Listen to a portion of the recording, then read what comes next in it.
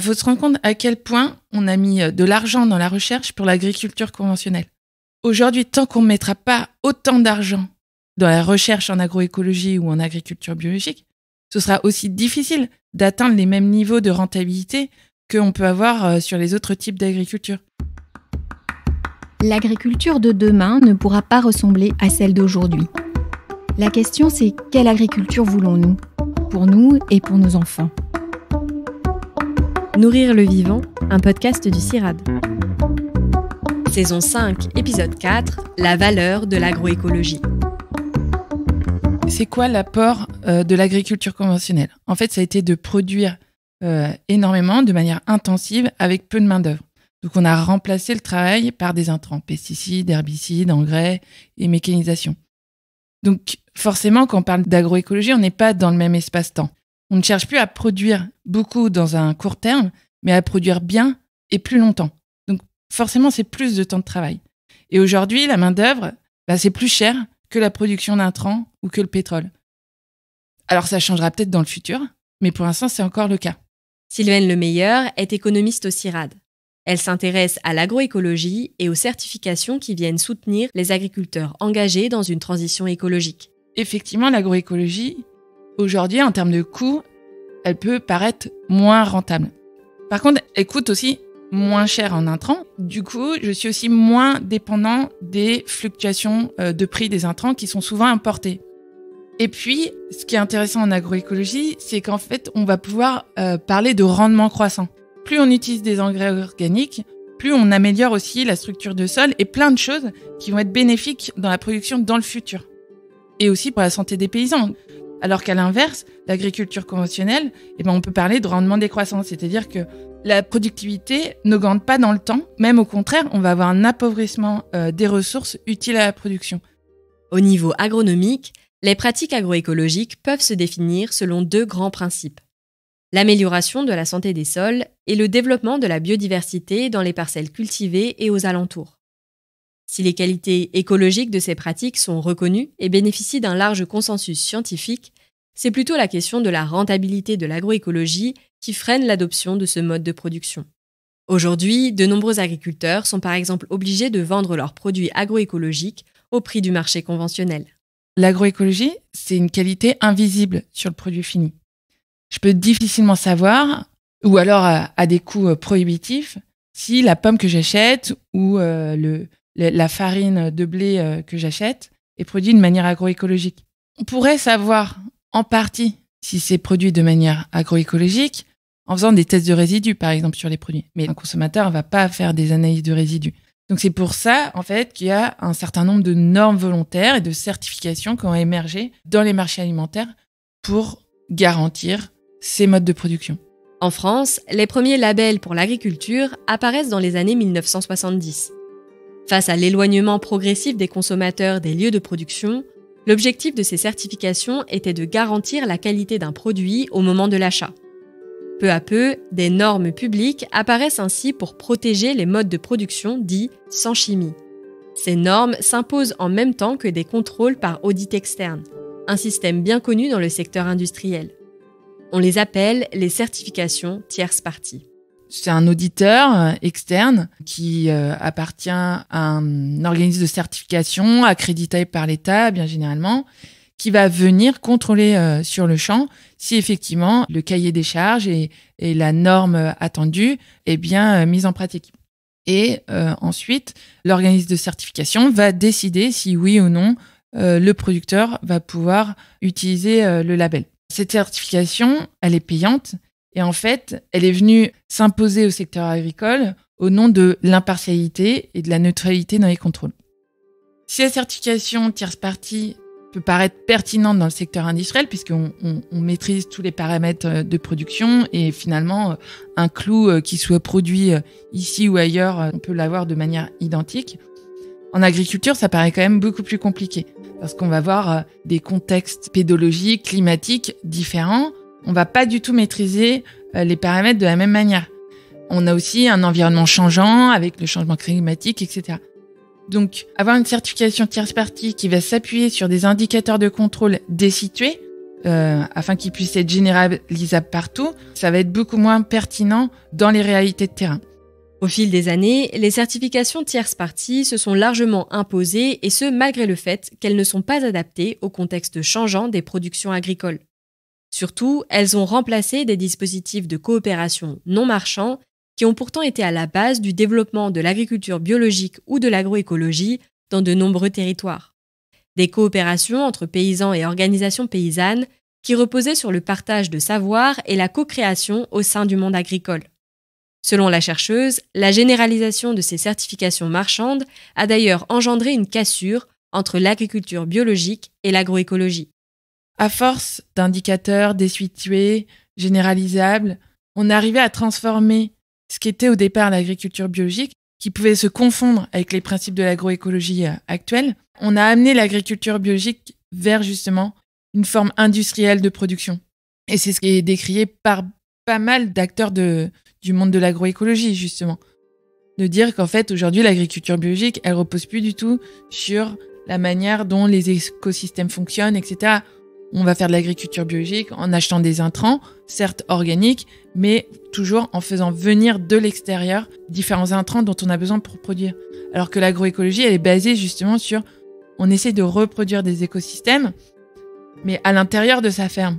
Et on va essayer de produire euh, par les ressources euh, présentes sur la ferme, les différents engrais, pesticides, etc. À l'heure actuelle, si certains organismes internationaux comme la FAO ont défini des grands principes de l'agroécologie, il n'existe aucune norme publique comme il en existe pour l'agriculture biologique.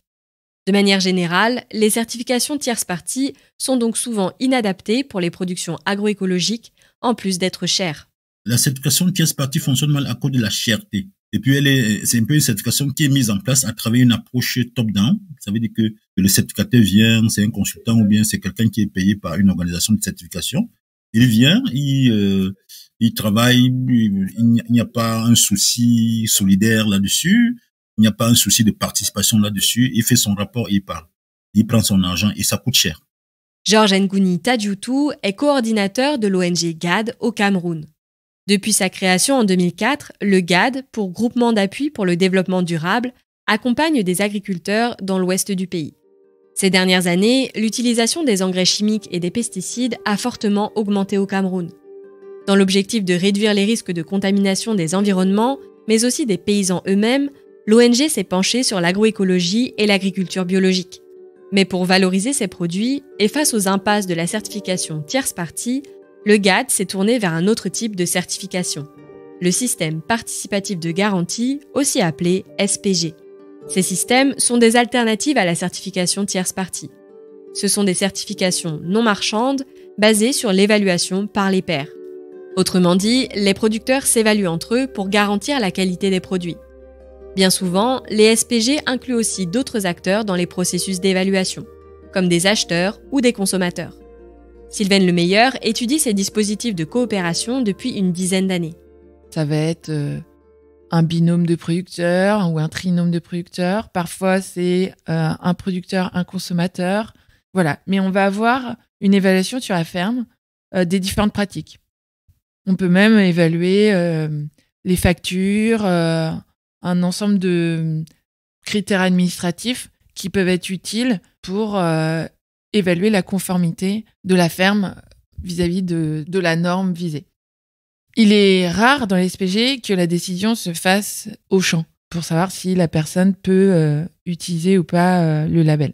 Bien généralement, il y a des commissions qui sont créées où justement les évaluateurs viennent présenter les résultats de leur évaluation et il va être discuté collectivement si euh, la ferme va pouvoir bénéficier du label. Au niveau de, de notre zone d'intervention, il y a euh, un seul SPG qui regroupe 280 producteurs. Il y a toujours des nouveaux producteurs, des nouveaux producteurs, des nouveaux productrices qui, tous les jours, frappent à la porte du SPG. Et localement également, nous avons développé deux instruments, n'est-ce pas? C'est-à-dire, en marge du fait qu'il y a déjà la certification, nous organisons des foires locales pour leur permettre de vendre leurs produits d'après des, selon des circuits courts. Nous avons également, avec eux, créé une boutique une boutique bio. Si vous allez dans la ville, vous allez trouver la boutique bio. Donc, tu permets également aux gens qui ont des produits frais de venir les déposer à la boutique, ainsi de suite. Aujourd'hui, on compte plus de 300 SPG dans plus de 78 pays du monde, avec presque 1,5 million de producteurs certifiés par ce mode de garantie.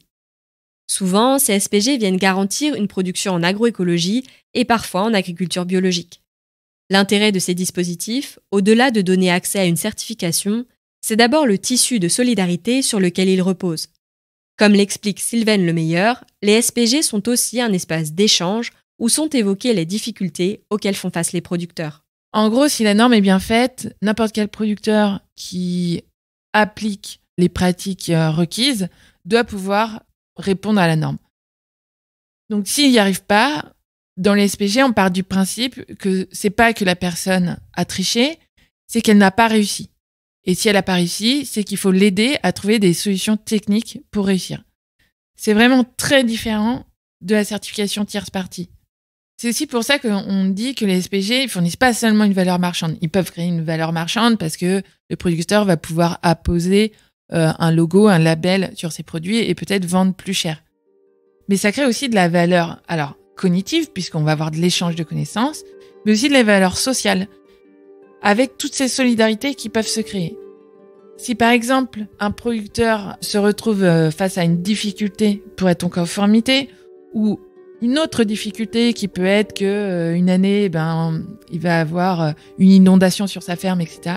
Ces commissions, qui sont en fait d'autres formes d'organisation paysanne, des nouvelles formes d'organisation paysanne, elles vont pouvoir mettre en place des chantiers participatifs pour aller aider un producteur à remettre euh, sa ferme en place ou à euh, défricher euh, certaines zones qui sont nécessaires à ce qu'il produise assez sur sa ferme pour produire ses intrants, etc. En fait, il y a des formes de solidarité qui vont être aussi générées par le système participatif de garantie. C'est un mode de certification qui met l'homme au centre de tous les intérêts.